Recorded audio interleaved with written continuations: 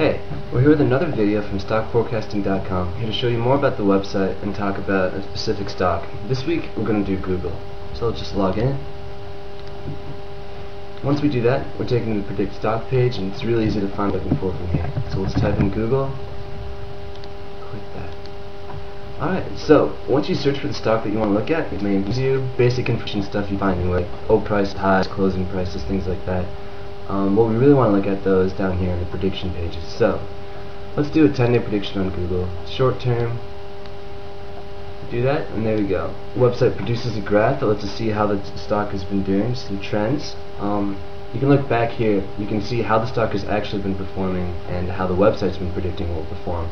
And then over here is how stock forecasting predicts Google's stock will be doing in the next few days. So we see like a slight rise and then starting to slope down over here but you can look at it over a month 10 days for a really close zoom up to look at specifics of what's happening. You can go all the way up to a year three years and you can zoom out pretty far. You can also select the periods that you want to look at the stock for. Down here we're given actual buy and hold strategies for the different days. So we can see the prices that are predicted to open and close the lows the highs general changes. If we were to look at the stock of July 12th we're supposed to buy them.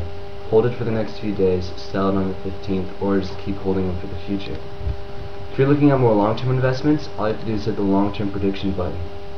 You're given the same general information. The graph again for a longer period of time, and then the chart. Over here we can see it for each month for the next six months. Uh, the predicted strategy is to hold on to the stock and watch it appreciate.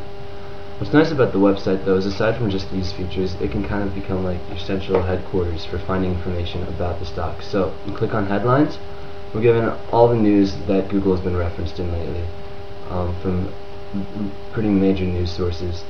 Financial blogs too, if you want some more editorial advice, you can see which blogs have mentioned Google in the past few weeks and get more information on them that way. So, once again, another video from StockForecasting.com here telling you about Google this week and be back next week for another.